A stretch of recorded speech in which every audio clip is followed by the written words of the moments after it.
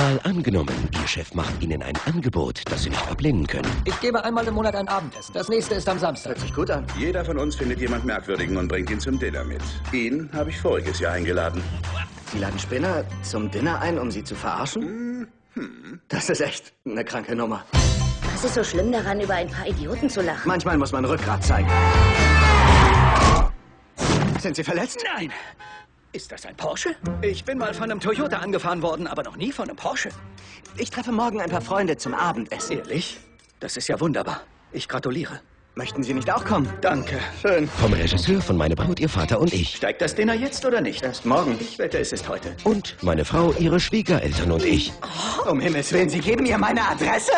Die Frau verfolgt mich seit zwei Jahren. Soll ich ihr sagen, sie soll nicht kommen? Ich bin ein umgezogenes Schulmädchen. Für ein Schulmädchen sind sie aber ganz schön groß. Auch das noch. In diesem Sommer Wo sind sie? Das Dinner fängt an. Es gab ein kleines Problem. zwei ungleiche Freunde. Er ist das Papier!